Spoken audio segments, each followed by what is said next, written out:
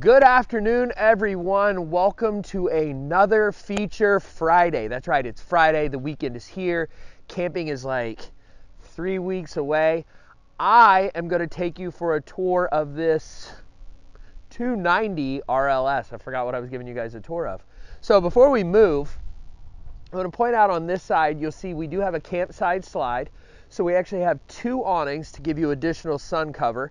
And both of those awnings are electric. They have LED lights in them. We've got the solid steps. And then I actually want to show you both sides of the pass-through storage. So as you see, you've got a lot of pass-through storage up here. You also have the ability to have a TV out here.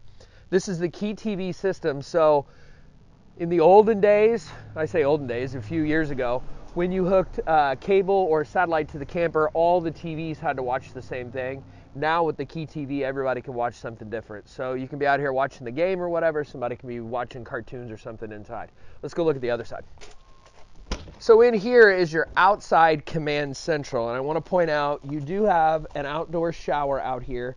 So that would be great for washing your feet off. You got sand on your feet or whatever, or your pets, or maybe a dirty kid. You can also do all of your winterization from right here, which is super nice, makes it easy, battery disconnect, everything. But then you also have your tank controls. So this is where you flush your black, eh, or where you dump your gray and black tank and your ability to flush it. And then a little feature that I forget to point out a lot is that little dial right there will come out. All your hoses and stuff can come up through there. And then you can close this off while you're at the campground. It looks nice and neat and pretty.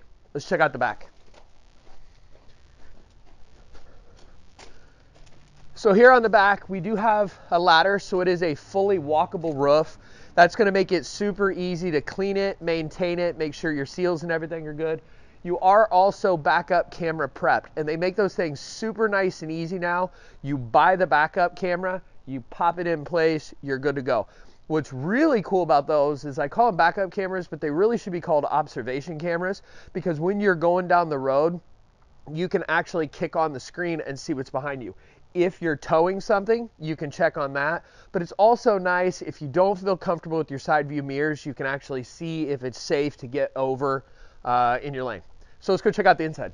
Okay, so I'm starting at the back of the unit, which is our living area. It's a rear living camper. So you're gonna see that we have our theater seats. These do recline. They do have cup holders as well as heat and massage, which is super nice.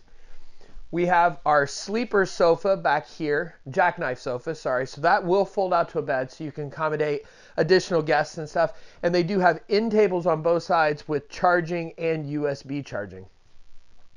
Then centrally located, we've got a nice big TV.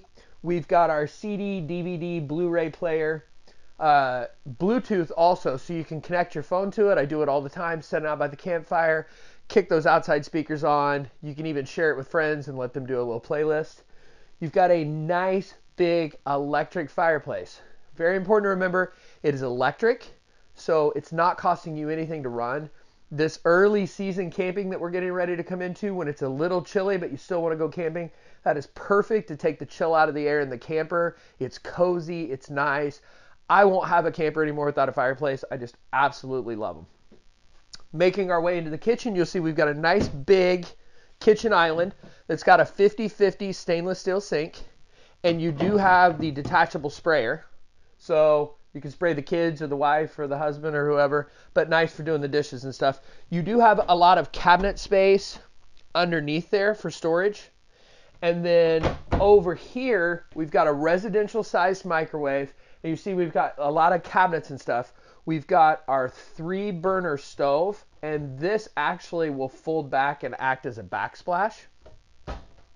Cabinets on both sides there and they've even went as far as to include charging ports here. So when you don't want to look at that, you put it down like that. But when you need charging here, maybe you're, I don't know, got some kind of a blender or something, you need some power, you've got it. You're like, Dan, where's the fridge at? This camper doesn't have a fridge. It's right here. They've done a really nice job of blending this in, but it's actually a double-sized refrigerator and freezer. So you're not going to have trouble if you're going on a long extended vacation in this camper or you've just got a lot of rugrats that you got to feed, piece of cake. Dry storage, you've got plenty of space for dry storage, as well as if you want to keep extra pillows and blankets and board games and all that. Then you have a nice little breakfast bar area, I guess is what you would call it.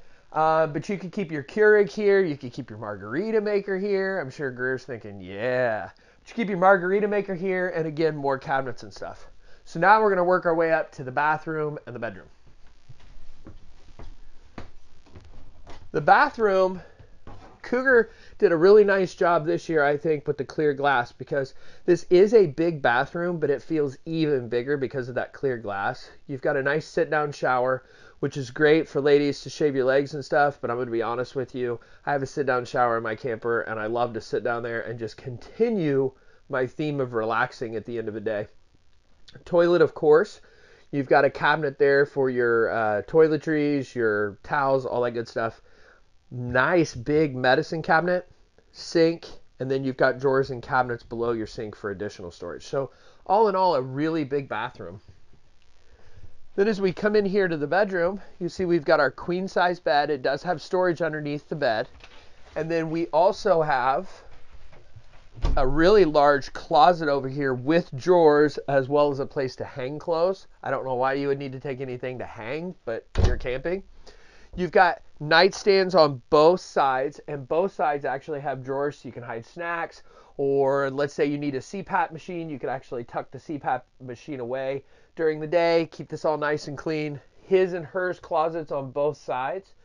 And then directly across from the TV, we do have a mounting bracket in the back of the wall so you can mount a TV back here if you need to get away and get a little privacy from the family you can sneak back here lay down on the bed and relax and you do also have a blackout shade for this. So you don't have to worry about that sun beating down on your face first thing in the morning and waking you up. You can always sleep in a little bit.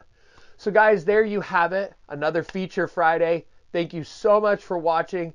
If you have questions or comments, leave them down below. Have a fantastic weekend. And remember, camping season is only a few weeks away.